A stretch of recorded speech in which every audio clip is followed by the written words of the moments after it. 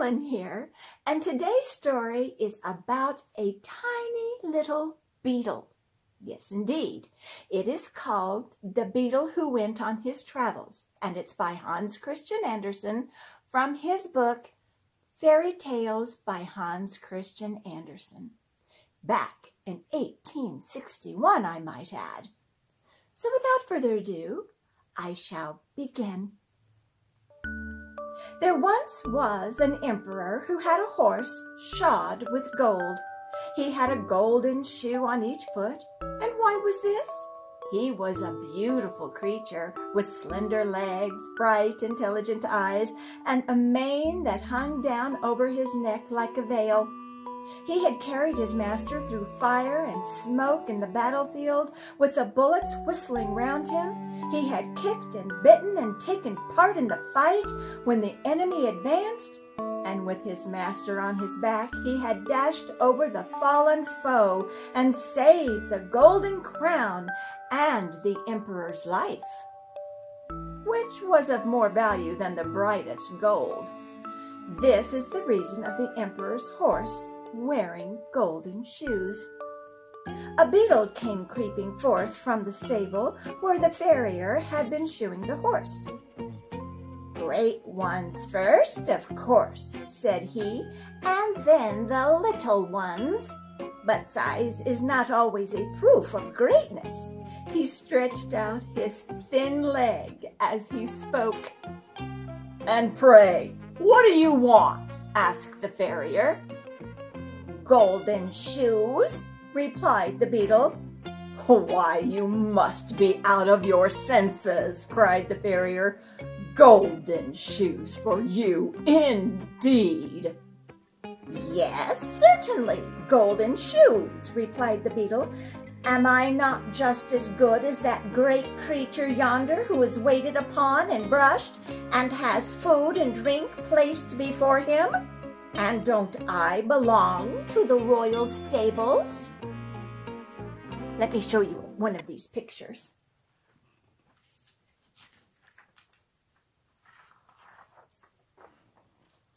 This is the picture of the farrier shoeing this beautiful horse with the golden shoes.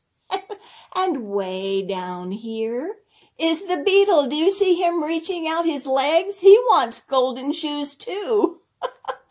I can't imagine having to make golden shoes for such a tiny little foot.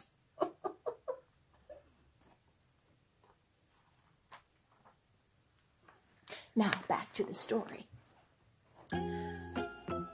But why does the horse have golden shoes? asked the farrier. Of course you understand the reason, he asked the beetle. Understand? Well, I understand that it is a personal slight to me, cried the beetle. It is done to annoy me. So I intend to go out into the world and seek my fortune. Go along with you, said the farrier. You're a rude fellow, cried the beetle as he walked out of the stable and then he flew for a short distance till he found himself in a beautiful flower garden, all fragrant with roses and lavender. The ladybirds, with red and black shells on their backs and delicate wings, were flying about, and one of them said, Is it not sweet and lovely here? Oh, how beautiful everything is! A ladybird back in 1861 is the same as a ladybug here in 2020. I am accustomed to better things, said the beetle. Do you call this beautiful? Why, there is not even a dung heap. Then he went on, and under the shadow of a large haystack he found a caterpillar crawling along. How beautiful this world is, said the caterpillar. The sun is so warm, I quite enjoy it, and soon I shall go to sleep and die, as they call it. But I shall awake with beautiful wings to fly with. like a butterfly. How conceited are you! exclaimed the beetle. Fly about as a butterfly indeed. What of that? I have come out of the emperor's stables and no one there, not even the emperor's horse, who in fact wears my cast-off golden shoes, has any idea of flying except myself. To have wings and fly, why, I can do that already. And so saying, he spread his wings and flew away. I don't want to be disgusted, he said to himself, and yet I can't help it. Soon after, he fell down upon an extensive lawn and for a time pretended to sleep, but at last fell asleep in earnest. Suddenly, a heavy shower of rain came falling from the clouds. The beetle woke up with a noise and would have been glad to creep into the earth for shelter, but he could not. He was tumbled over and over with the rain, sometimes swimming on his stomach and sometimes on his back. And as for flying, that was out of the question. He began to doubt whether he should escape with his life, so he remained quietly lying where he was. After a while, the weather cleared up a little, and the beetle was able to rub the water from his eyes and look about him.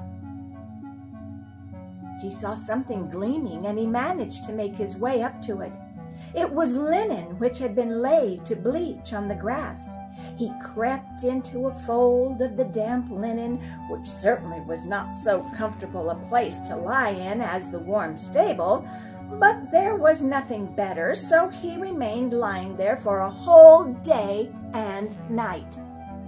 The rain kept on all the time. Toward morning, he crept out of his hiding place, feeling in a very bad temper with the climate. Two frogs were sitting on the linen, and their eyes were bright. Actually, they glistened with pleasure. Ribbit, wonderful weather this, cried one of them. And so refreshing, Ribbit. This linen holds the water together so beautifully that my hind legs quiver as if I were going to swim, Ribbit, Ribbit, Ribbit. I should like to know, said another, if the swallow who flies, Ribbit, Ribbit, so far in her many journeys to foreign lands, ever met with a better climate than this? What delicious moisture! It is as pleasant as lying in a wet ditch. I am sure anyone who does not enjoy this has no love for his fatherland. Ribbit, ribbit. Have you ever been in the emperor's stable? asked the beetle. There the moisture is warm and refreshing. That's the climate for me. But I could not take it with me on my travels. Is there not even a dunghill here in this garden where a person of rank like myself could take up his abode and feel at home? But the frogs either did not or would not understand him. I never asked a question twice, said the beetle, after he had asked this one three times and received no answer. Then he went on a little farther and stumbled against a piece of broken crockery, which certainly ought not to have been lying there. But as it was there, it formed a good shelter against wind and weather to several families of earwigs who dwelt in it. Their requirements were not many, they were very sociable and full of affection for their children, so much so that each mother considered her own child the most beautiful and clever of them all. Like most of us mothers think about our children. Mm -hmm. Our dear son has engaged himself, said one mother. Dear innocent boy, his greatest ambition is that he may one day creep into a clergyman's ear. That is a very artless and lovable wish, and being engaged will keep him steady. What happiness for a mother! Our son, said another, had scarcely crept out of the egg when he was off on his travels. He is all life and spirits. I expect he will wear out his horns with running. How charming this is for a mother, is it not, Mr. Beetle? For she knew the stranger by his horny coat. You are both quite right, said he, so they begged him to walk in that is, to come as far as he could under the broken piece of earthenware. Now you shall also see my little earwigs, said a third and a fourth mother. They are lovely little things and highly amusing. They are never ill behaved, except when they are uncomfortable in their inside, which unfortunately often happens at their age. Thus each mother spoke of her baby, and their babies talked after their own fashion, and made use of the little nippers they have in their tails to nip the beard of the beetle. They are always busy about something, the little rogues, said the mother, beaming with maternal pride. But the beetle felt it a bore, and he therefore inquired the way to the nearest dung heap. That is quite out in the great world, on the other side of the ditch, answered an earwig. I hope none of my children will ever go so far. It would be the death of me. But I shall try to get so far, said the beetle, and he walked off without taking any formal leave, which is considered a polite thing to do. When he arrived at the ditch, he met several friends, all them beetles. We live here, they said, and we are very comfortable. May we ask you to step down into this rich mud? You must be fatigued after your journey. Certainly, said the beetle. I shall be most happy. I have been exposed to the rain and have had to lie upon linen, and cleanliness is a thing that greatly exhausts me. I have also pains in one of my wings from standing in a draft under a piece of broken crockery. It is really quite refreshing to be with one's own kindred again. Perhaps you came from a dung heap, observed the oldest of them. No, indeed, I came from a much grander place, replied the beetle. I came from the emperor's stable, where I was born, with golden shoes on my feet. I am traveling on a secret embassy. But you must not ask me any questions, for I cannot betray my secret. Then the beetle stepped down into the rich mud, where sat three young lady beetles who tittered because they did not know what to say. None of them are engaged yet, said their mother, and the beetle maidens tittered again, this time quite in confusion. I have never seen greater beauties, even in the royal stables, exclaimed the beetle, who was now resting himself. Don't spoil my girls, said the mother, and don't talk to them, pray, unless you have serious intentions. But of course the beetle's intentions were serious, and after a while our friend was engaged. The mother gave them her blessing, and all the other beetles cried, Hurrah! Immediately after the betrothal came the marriage, for there was no reason to delay. The following day passed very pleasantly, and the next day was tolerably comfortable. But on the third, it became necessary for him to think of getting food for his wife and perhaps for children. I have allowed myself to be taken in, said our beetle to himself, and now there's nothing to be done but to take them in in return. No sooner said than done. Away he went and stayed away all day and all night, and his wife remained behind, a forsaken widow. Oh, said the other beetles, this fellow that we have received into our family is nothing but a complete vagabond. He has gone away and left his wife a burden upon our hands. Well, she can be unmarried again and remain here with my other daughters, said the mother. Fie on the villain that forsook her. Fie! In the meantime, the beetle, who had sailed across the ditch on a cabbage leaf, had been journeying on the other side. In the morning, two persons came up to the ditch. When they saw him, they took him up and turned him over and over, looking very learned all the time especially one who was a boy. Allah sees the black beetle in the black stone and the black rock. Is not that written in the Koran? he asked.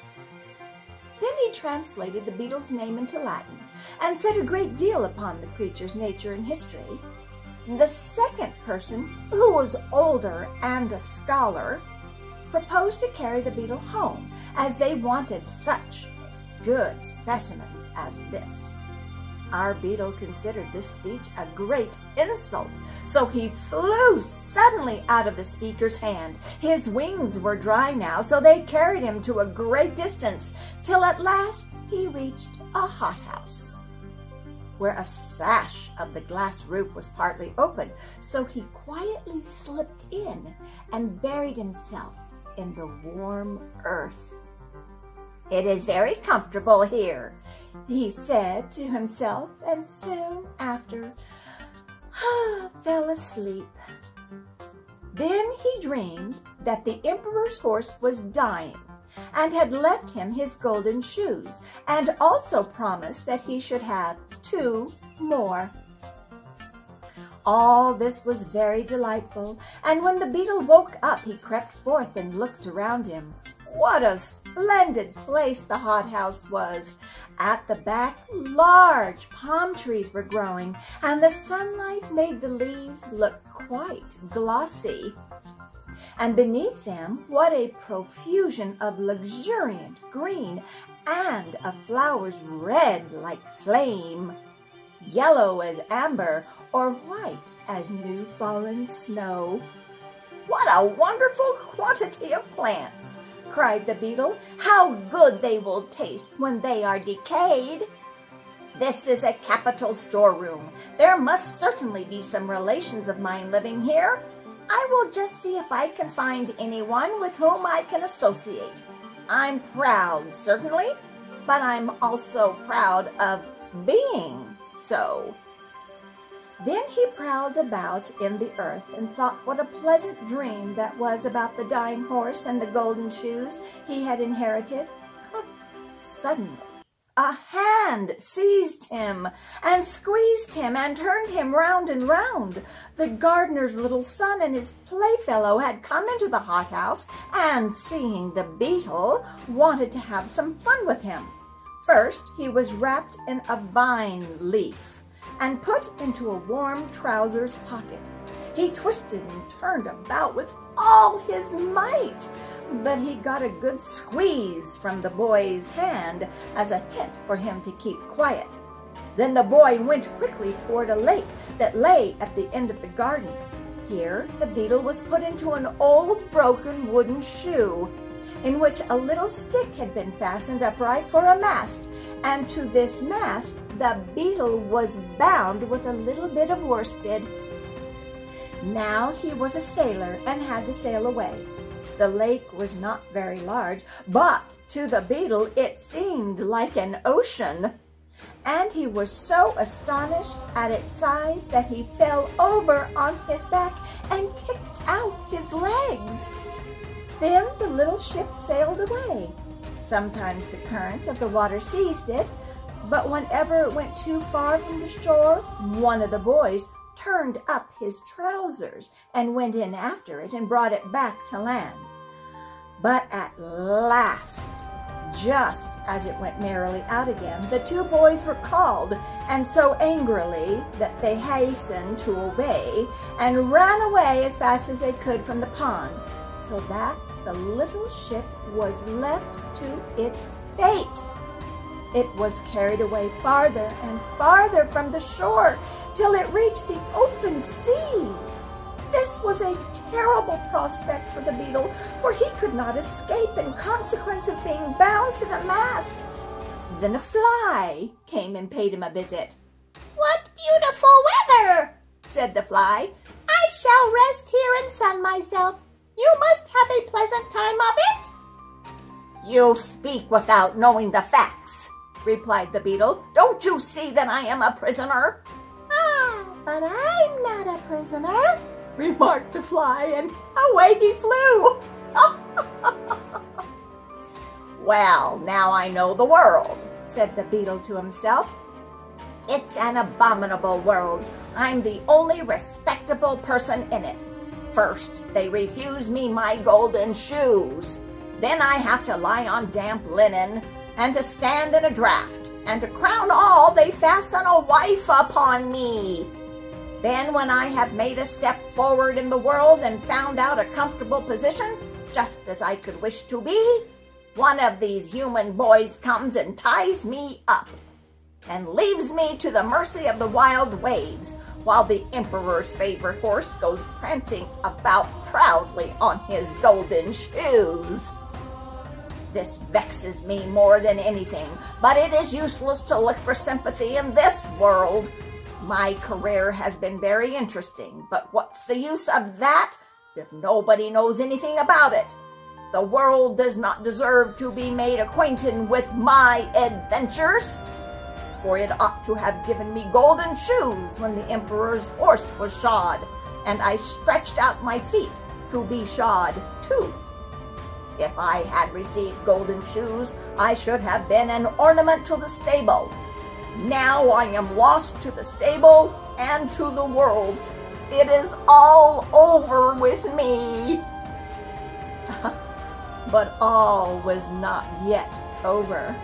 A boat in which few girls were in came rowing up. Look, yonder is an old wooden shoe sailing along, said one of the younger girls. Oh, and there's a poor little creature bound fast in it, said another. Here, let me show you this picture.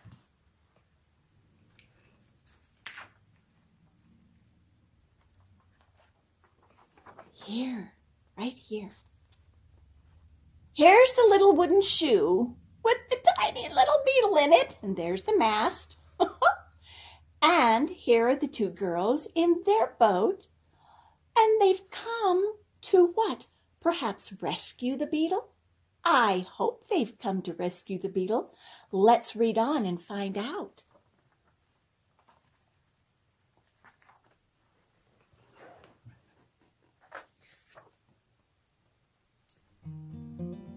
The boat now came close to our beetle's ship, and the young girls fished it out of the water. One of them drew a small pair of scissors from her pocket and cut the worsted without hurting the beetle. And when she stepped on shore, she placed him on the grass. There, she said, creep away or fly if thou canst. It is a splendid thing to have thy liberty. Away flew the beetle straight through the open window of a large building, and there he sank down, tired and exhausted, exactly on the mane of the emperor's favorite horse.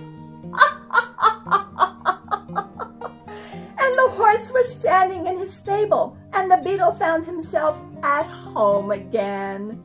For some time he clung to the mane that he might recover himself. Well, he said, here I am, seated on the emperor's favorite horse, sitting upon him as if I were the emperor himself. But what was it the farrier asked me? Hmm. Ah, I remember now. That's a good thought. He asked me why the golden shoes were given to the horse. The answer is quite clear to me now. They were given to the horse on my account. And this reflection put the beetle into a good temper. The sun's rays also came streaming into the stable and shone upon him and made the place lively and bright. Traveling expands the mind very much, said the beetle. The world is not so bad after all, if you know how to take things as they come.